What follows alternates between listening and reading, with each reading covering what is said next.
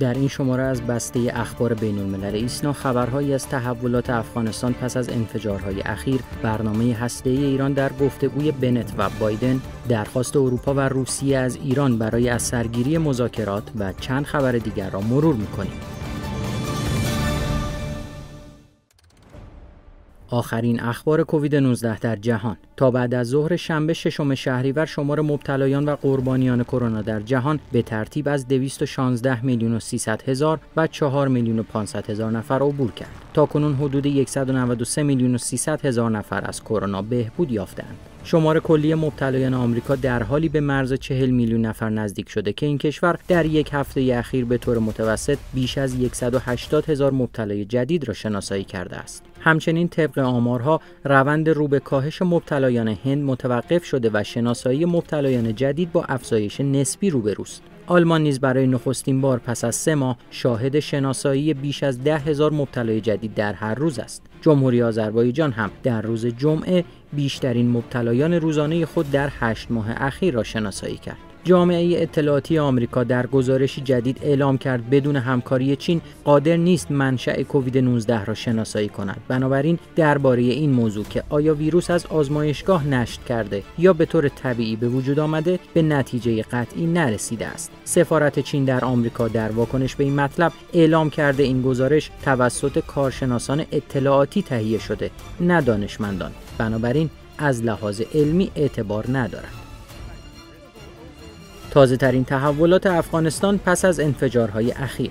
کمتر از دو روز پس از انفجارهای اخیر در فرودگاه حامد کرزای کابل آمریکا اعلام کرد در حمله پهپادی این کشور علیه مواضع داعش در شرق افغانستان یکی از اعضای این گروه تروریستی که حملات فرودگاه کابل را طرحریزی کرده بود کشته شده است. شورای امنیت سازمان ملل متحد در بیانیه‌ای خواستار محاکمه عاملان و طراحان این دو حمله به فرودگاه کابل شده است. چین نیز ضمن محکومیت شدید این حملات خواستار اقدامات مؤثر برای انتقال بدون دردسر قدرت در افغانستان شد. همکنون نیروهای آمریکایی که برای تخلیه شهروندان افغان و آمریکایی در فرودگاه کابل حضور دارند برای مقابله با حملات احتمالی از سوی داعش در حال آماده باش قرار دارند. همچنین فرانسه و انگلستان از پایان مأموریت تخلیه شهروندان خود و پناهجویان افغان خبر دادند. دولت ترکیه هم در بیانیه ای اعلام کرد با درخواست طالبان برای مدیریت فرودگاه کابل موافقت کرده است. در ادامه تحولات افغانستان روزنامه واشنگتن پست گفته طالبان از آمریکا خواسته پس از 31 آگوست یعنی پایان مهلت خروج نیروهای آمریکایی از افغانستان ایالات متحده همچنان حضور دیپلماتیک خود در این کشور را حفظ کند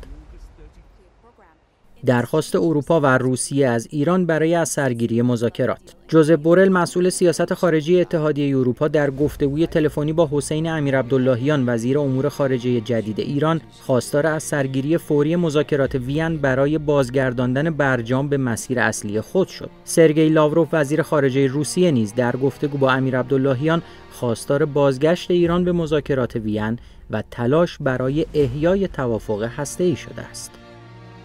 صحبت درباره برنامه هسته ایران در دیدار بنت و بایدن نفتالی بنت نخست وزیر اسرائیل در نخستین دیدار خود با جو بایدن رئیس جمهور آمریکا از تلاش های بایدن برای جلوگیری از دستیابی ایران به سلاح هسته‌ای تشکر کرد. بنت در این دیدار که در کاخ سفید برگزار شده بود، مدعی شده همین حالا که اینجا نشسته ایم، ایران در حال تقویت سانتریفیوژ های خود است و باید آنها را متوقف کنیم. رئیس جمهور آمریکا هم به نخست وزیر اسرائیل اعلام کرده اولویت ایالات متحده در قبال ایران دیپلماسی است. اما اگر دیپلماسی شکست بخورد آماده این به گزینه های دیگری روی بیاوریم.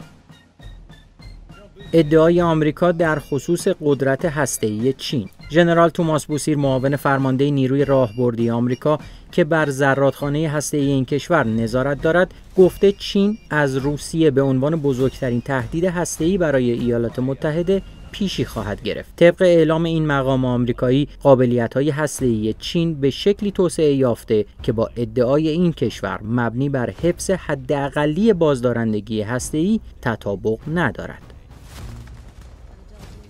ادامه بحران سیاسی در لبنان. نخست وزیر مکلف لبنان روز جمعه اعلام کرد بحران شدید اقتصادی و سیاسی باعث شده این کشور برای یک سال به وسیله دولت موقت اداره شود. نجیب میقاتی سومین فردی است که در یک سال گذشته مأمور تشکیل دولت جدید در لبنان شده است. عباس ابراهیم سرلشکر و رئیس دستگاه امنیت لبنان نیز به نیروهای خود دستور داده که در برابر بحران سراسری در لبنان که ممکن است طولانی تر شود ایستادگی کنند. این مقام نظامی امنیتی همچنین نسبت به بروز هرج و مرج در صورت فروپاشی دولت هشدار داده است.